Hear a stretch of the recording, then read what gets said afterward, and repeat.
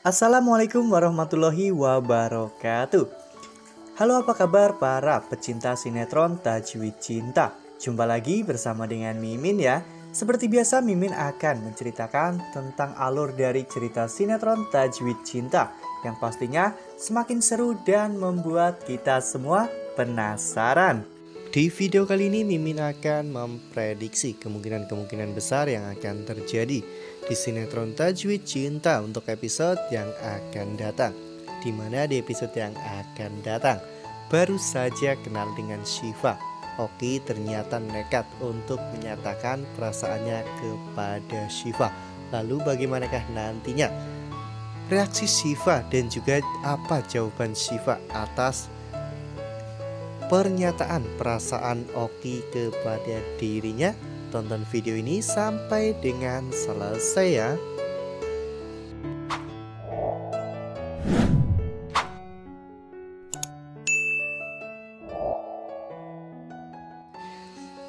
Di episode sebelumnya, kita semua pastinya dibikin gregetan ya kawan-kawan dan sekaligus dibikin bahagia karena pada akhirnya apa yang kita tunggu-tunggu selama ini akhirnya terjadi di mana ada sosok laki-laki pemain baru yang mencintai Shiva agar Dafri bisa merasakan cemburu.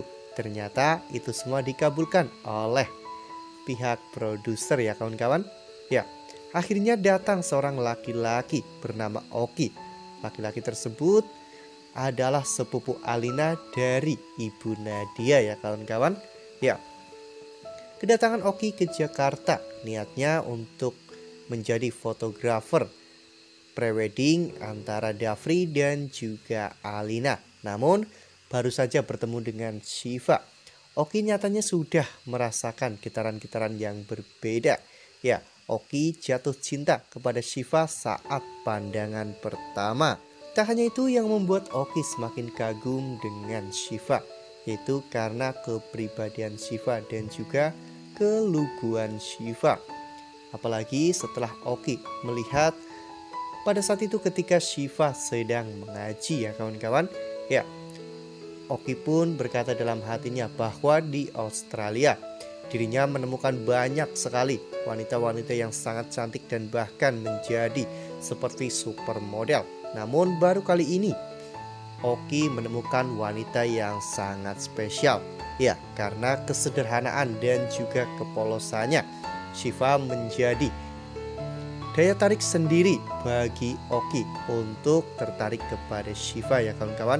Oki pun merasa bahwa karena kepolosan Shiva dan juga kebaikannya sehingga membuat Shiva lebih bersinar daripada wanita-wanita lain. Tak hanya itu, Oki yang akhirnya mengetahui jika Shiva adalah anak dari Pak Usman. Tentunya hal itu menambah rasa kasihan bagi Shiva ya kawan-kawan. Apalagi Bu Nadia pastinya sudah menceritakan banyak hal tentang Pak Usman kepada Oki. Sehingga ketika Oki mengetahui Shiva adalah anak Pak Usman, Oki sedikit terkejut ya kawan-kawan.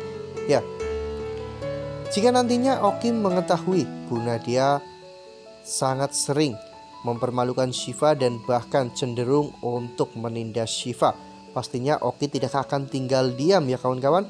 Meskipun Oki tahu bahwa Shiva adalah anak Pak Usman, di mana Pak Usman adalah orang yang menyebabkan Susi bunuh diri ya kawan-kawan. Ya, namun meskipun begitu, Oki satu pemikiran dengan Alina, di mana itu adalah kesalahan dari Pak Usman dan tidak ada sangkut pautnya dengan Shiva. Nah, sebelum lanjut di video kali ini, Mimin sarankan agar teman-teman semua menekan tombol subscribe dan nyalakan lonceng notifikasinya agar teman-teman tidak ketinggalan updatean terbaru dari Mimin karena setiap hari Mimin akan memposting ataupun mengupdate berita-berita terbaru mengenai alur cerita sinetron Tajwid Cinta. Mimin juga menyarankan agar teman-teman menonton video ini sampai dengan selesai agar tidak terjadi kesalahpahaman di antara kita. Oleh karena hal itu, Oki pun berniat untuk melindungi Shiva dari kejahatan Bu Nadia ya kawan-kawan. Ya, meskipun nantinya Oki akan menentang kebijakan dari Bu Nadia dan akan membuat Bu Nadia semakin marah. Namun, Oki sangat ingin dirinya benar-benar melindungi Shiva sekuat dan semampu Oki ya kawan-kawan. Karena Oki benar-benar jatuh cinta dengan Shiva. Sejak pertama Oki bertemu dengan Shiva parasnya yang cantik dan anggun membuat Oki tergila-gila ya kawan-kawan. Bahkan Oki sampai tidak mengedipkan mata ketika memandang Shiva. Itu semua karena Oki benar-benar tertarik terhadap Shiva ya kawan-kawan. Lalu untuk melindungi Shiva apakah nantinya Oki akan semakin dekat dan semakin perhatian dengan Shiva? Karena jika Oki semakin perhatian dan juga semakin dekat dengan Shiva, maka Oki akan semakin mudah untuk melindungi Shiva. Ya, nampaknya Oki akan terus berjuang untuk bisa lebih dekat dengan Shiva ya kawan-kawan karena Oki belum mengetahui jika Shiva ternyata adalah istri Davri. Ya, Oki pun akan terus berusaha untuk memperjuangkan cintanya terhadap Shiva. Meski Shiva tentunya akan menolak ya kawan-kawan karena Shiva belum bercerai dengan Davri. Namun Oki tetap menunjukkan rasa ketertarikannya terhadap Shiva Oki bahkan rela untuk melakukan apa saja demi untuk mendapatkan hati Shiva. Karena Oki yang merasa bahwa dirinya pantas untuk mendapatkan Shiva. Oki harus mendapatkan Shiva apa pun yang akan terjadi. Oki akhirnya memberanikan diri untuk mengungkapkan perasaannya kepada Shiva. Oki berharap agar Shiva mau untuk menerima perasaannya ya kawan-kawan agar Oki bisa lebih leluasa untuk melindungi Shiva. Namun tentunya Shiva tidak mau menerima perasaan Oki ya kawan-kawan karena status Shiva dan juga Davri saat ini memang masih status suami istri. Lalu apakah Oki akan menyerah untuk mendapatkan hati Shiva?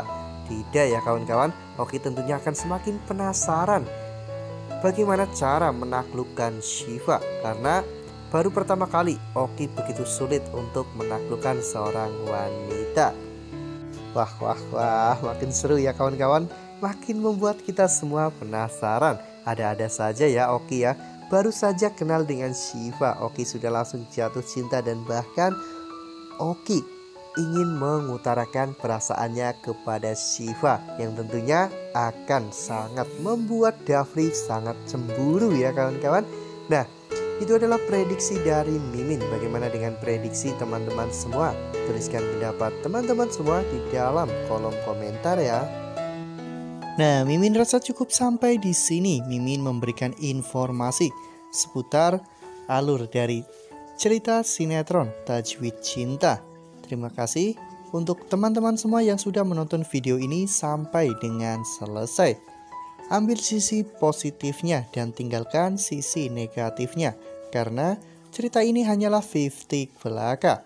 Wassalamualaikum warahmatullahi wabarakatuh.